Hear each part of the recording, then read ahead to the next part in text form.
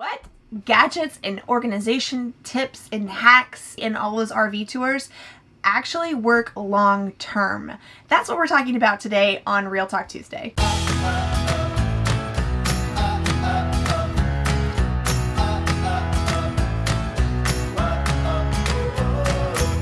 Welcome back to No Ordinary Path. I am Kristin. My husband John is a travel nurse and we live in this 37 foot travel trailer that we call Windy. We have three kids and a dog, so we have a lot of organization to do inside this RV. And today I'm going to talk about some things that I've already talked about. In fact, we're going to go through some of the videos in our organization and gadgets playlist. So you can check that playlist out up here because it's a great playlist. It has a lot of great information in it. There's some things that we have said in the past, especially when we were newbie RVers, that were good in the beginning, but they did not stand the test of time.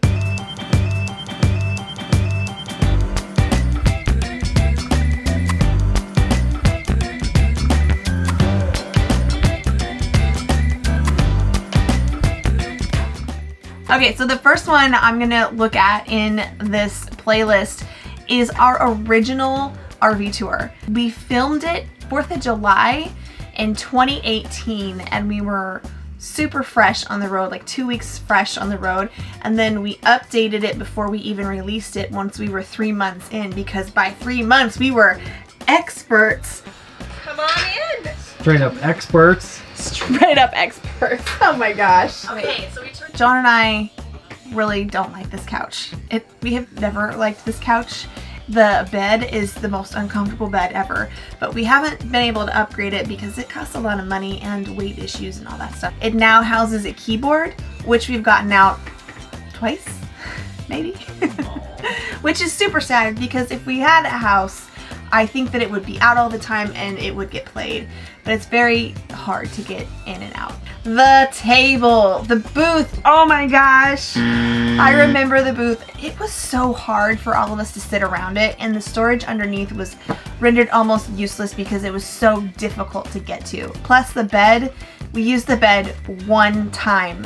That's the only time we ever used it and it was because we were boondocking in miserable heat and Aaron slept out here so that he could get a breeze. We ripped out the booth in Reno. You can see that clip here. And it was a great project. We decided to keep one side of the booth and take out the rest of the U-dinette. We replaced it with an IKEA table, which we were very excited about. And a lot of RVers use this fancy table from IKEA. And we, we did keep it for three contracts it, the, the thing was so heavy. It was like such a pain. But we couldn't ever leave it up when we traveled because it just bounced. It would literally like hop as we were going down the road and bang into our cabinets. I mean, you should see the cabinet over here it's it's totally torn up and that's because the table would shift and move. And no matter what position we put it in it still moved. We'd close it all the way up and we'd move it all the way over to this little tiny spot between our bedroom door and where the slide closes in. And even still it would tip over. It put a hole in our wall. That thing was just the most there's just it was huge.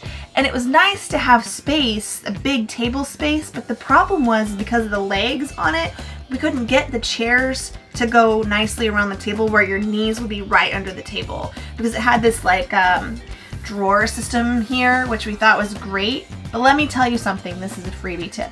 The more storage space you have the more junk you will keep you just keep adding things when you have more space to store it I digress okay so the table's gone and now we have this nice folding table which is actually a card table of all things, and I think it's unavailable on Amazon right now, but we'll put the link down there just in case.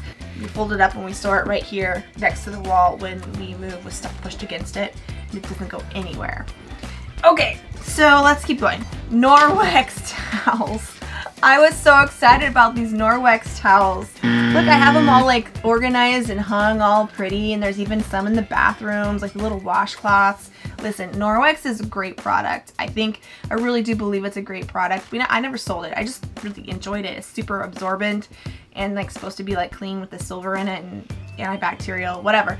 The problem is this is so antibacterial that it collects all the bacteria and they stink. If we had our own washing machine and could wash them properly every single time and know what residue was left in the washing machines, then they might not have stunk, but they got to the point no matter what I did, they I could not get the smell out of them and I would put them in a laundry bag with everything else and then all of our clothes would smell like that. It was it was disgusting. And my regular towels never smelled like that. Labeling all the toys. Look at this, it's so pretty. See all these boxes are so pretty. Yeah, that doesn't work. Not long term. Not for our kids anyways. And then we went to like sometime around Columbia right after Christmas. We just got like a one box, a toy box for Chloe and then that thing filled to the brim because the more space you have to store, the more you're gonna keep. and now we uh, simply make the kids keep whatever they want to keep in their beds. Ethan has a shelf um, that's hung up on his walls with screws. And Aaron has like a bookshelf, really the top of a desk that we found at Ikea. And it has like two shelves on it. And Chloe doesn't have any shelves, but she has a nice drawer that you can pull out and then like a box on top of that. And then she has this cute little animal bed that she got for her birthday that has all her stuffed animals in it. And that is it. That's all she has now. And you know what? She's perfectly happy with that. And I really hope it stays that way. Kristin's top hacks. This is funny.